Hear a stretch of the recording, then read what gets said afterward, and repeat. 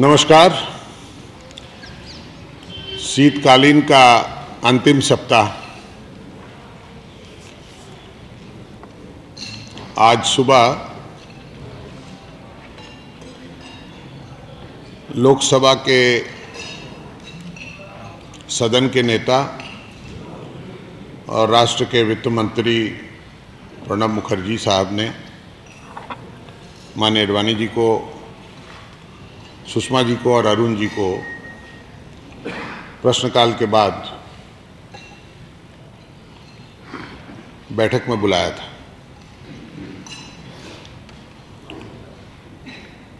चर्चा का विषय था कि कल लोकसभा की बीएसी में ये निर्णय हुआ था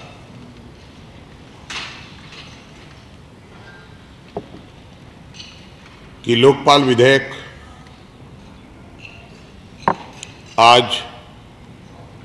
इंट्रोड्यूस हो जाएगा।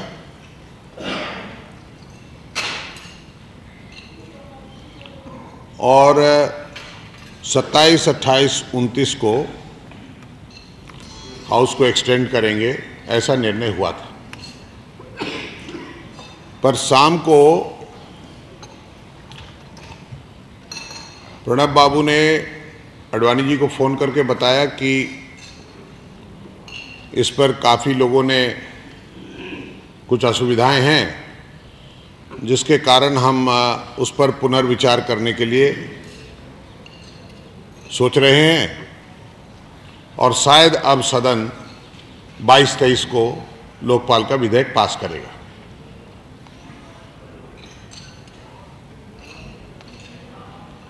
पर आज सुबह उन्होंने कहा कि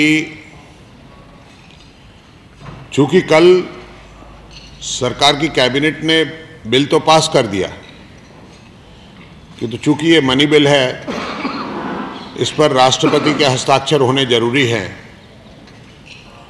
और राष्ट्रपति के हस्ताक्षर हुए बगैर ये सर्कुलेट नहीं हो सकता, प्रिंट नहीं हो सकता। तो वो सारी व्यवस्था के लिए और महामहिम राष्ट्रपति जी दिल्ली से बाहर हैं और कल ग्यारह, साढ़े ग्यारह बजे लौटेंगी, उसके बाद ही दस्खत हो सकेगा।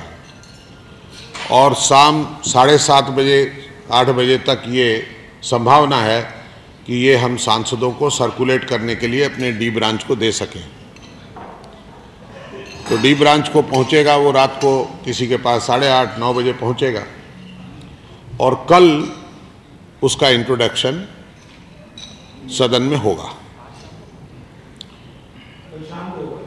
कल कल सुबह होगा। कल सुबह इंट्रोडक्शन होगा। आज सर्कुलेट होगा। कल इंट्रोडक्शन होगा। कल इंट्रोडक्शन होने, पहला जो 2010 अगस्त को उन्होंने 4 अगस्त को शायद पहला बिल इंट्रोड्यूस किया था उसको विड्रॉ करेंगे और एक नया बिल इंट्रोड्यूस करेंगे और वो इंट्रोडक्शन होने के बाद ही इस पर कोई चर्चा के बारे सोचा जा सकता है।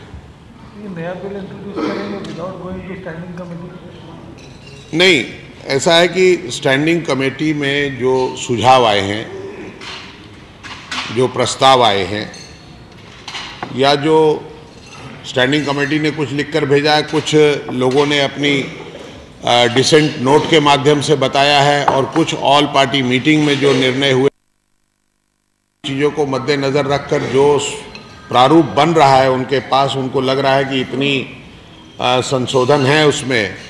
तो संशोधन देने की बजाय एक नया बिल का रूप ही ले लें तो वो करना चाहते हैं।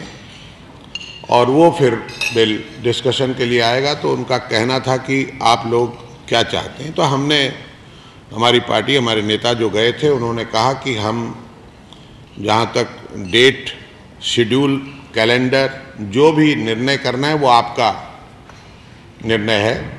आप करिए। अगर आप 22-23 को लेना चाहते हैं, हम उसके लिए तैयार होंगे, पर तैयार तभी होंगे कि जब बिल हमारे हाथ में और अगर आप उसके बाद करना चाहते हैं सत्ताईस, अट्ठाईस, उनतीस को तो कल आप बीएससी में ऑलरेडी निर्णय ले चुके हैं। तो हमने ये बात उन पर छोड़ी है कि कैलेंडर उन्होंने निश्चित करना है। हम पक्षधर हैं कि एक सशक्त लोकपाल